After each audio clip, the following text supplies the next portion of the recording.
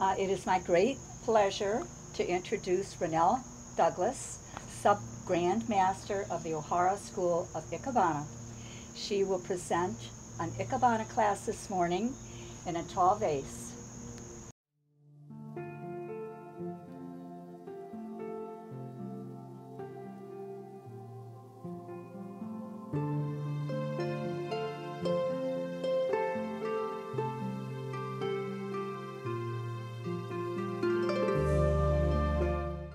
Uh, we've done this before. This is the slanting style Heika arrangement of the Ohara School.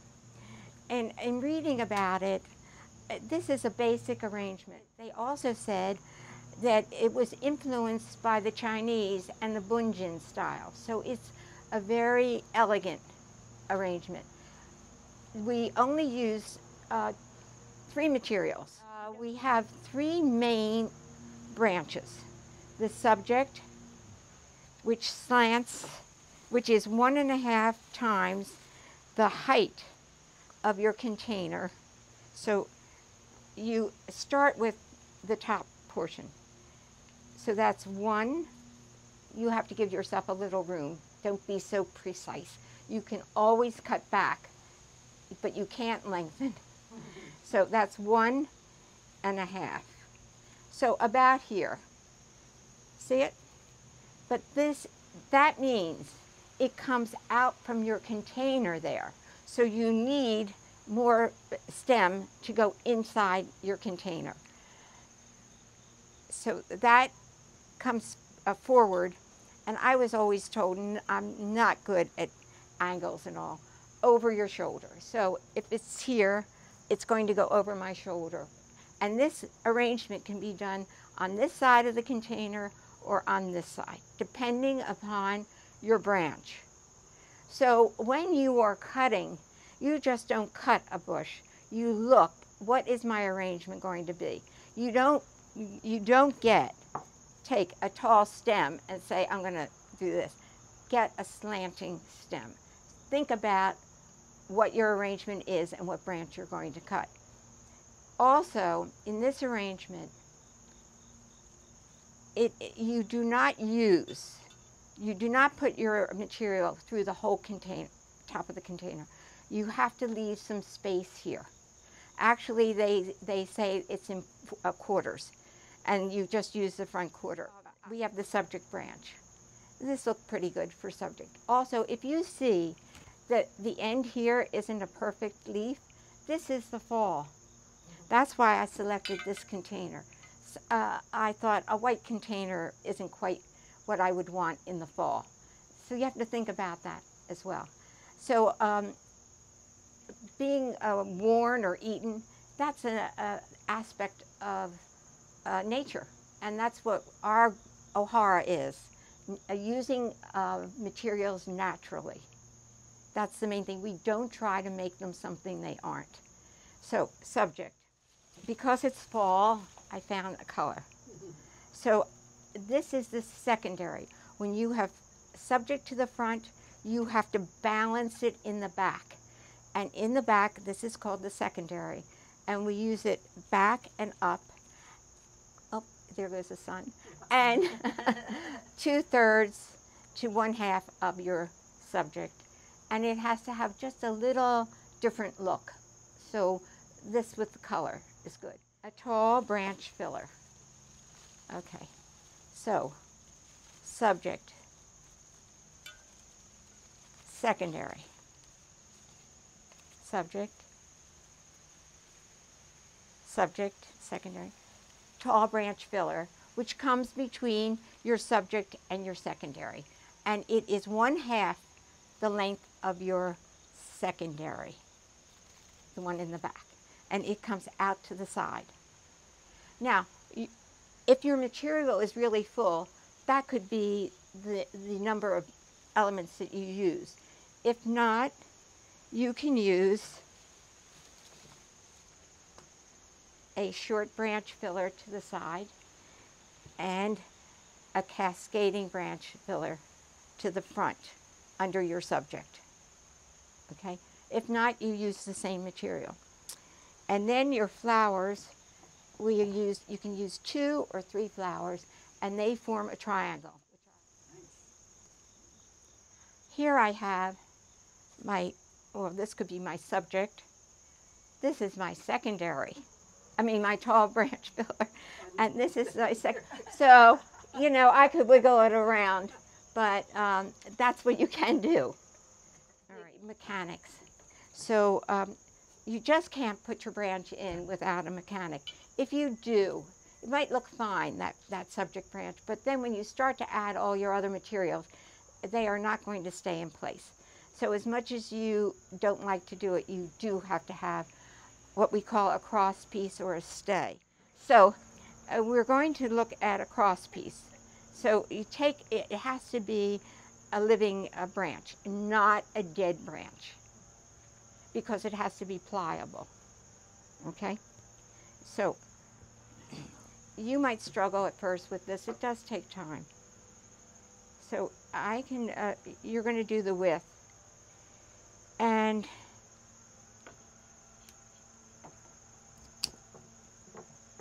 uh, you can splay the edges. We'll see.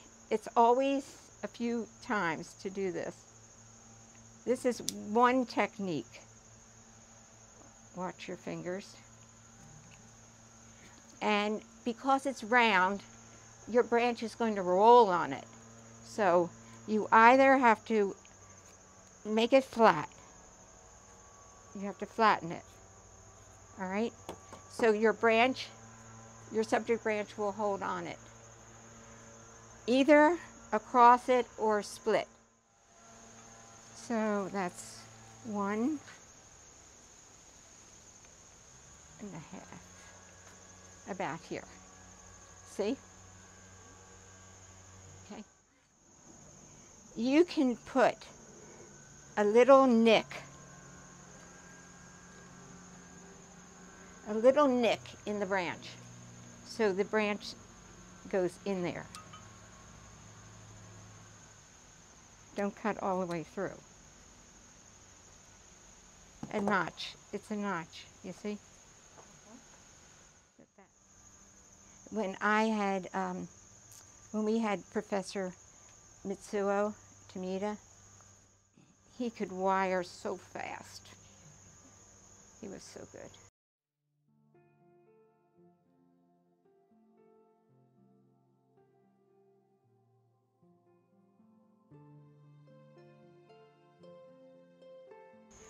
So we have to clip these off. Also, you have to feel the balance, and I'm not quite sure that the balance of this is so great.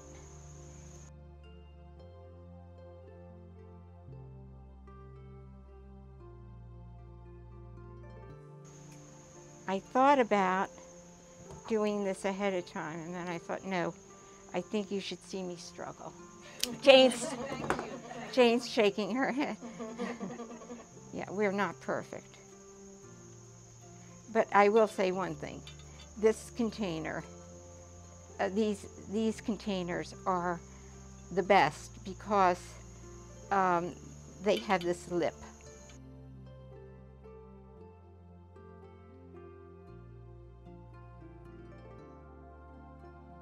This is a vi viburnum.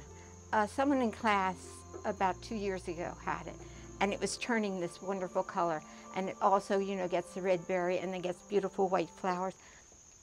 Because this is extended like this, I'm going to use it. But if you don't have that, you cut this and you, you put your another uh, extension so it goes down. All right? And uh, everything is balance and weight. I can feel that this is going to flop. So I have to cut it. So it, it's going to come back here. Okay? And then, oh, this is pretty.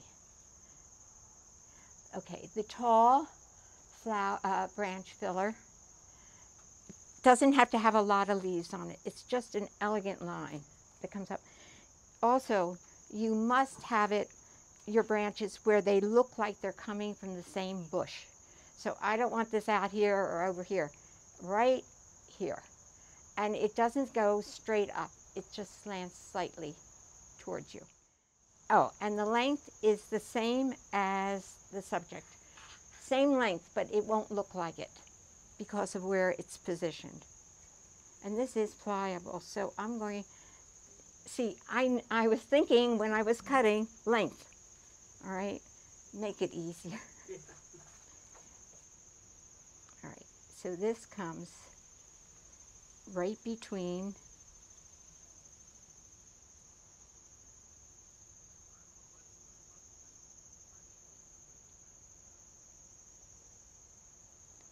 the subject, right between the subject and the secondary. How's it look? It looks Good, nice. good. Okay, we can put in another element like this hosta, short. Short branch, ooh, a double. short branch.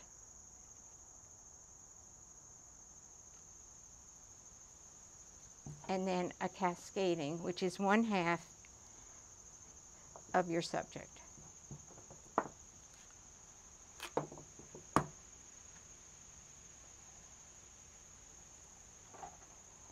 So we have to bend it.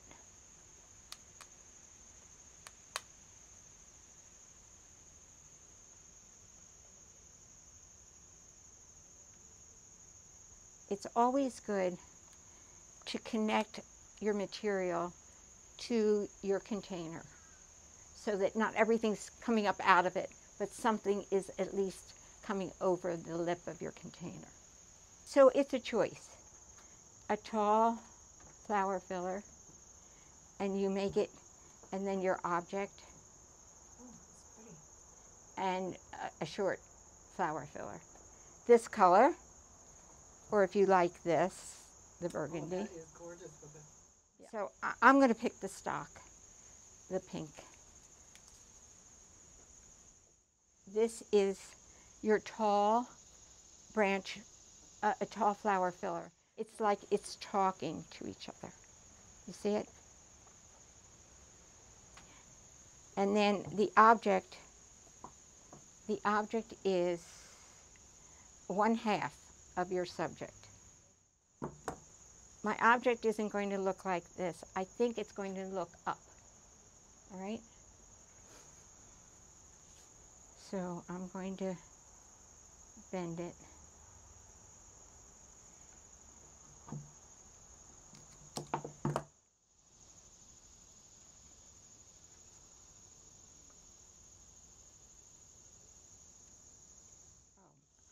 Always with your flowers, do not pick the heaviest one for up top. Pick the fuller one for your object and the lighter one for your tall branch filler. If, if you have a choice.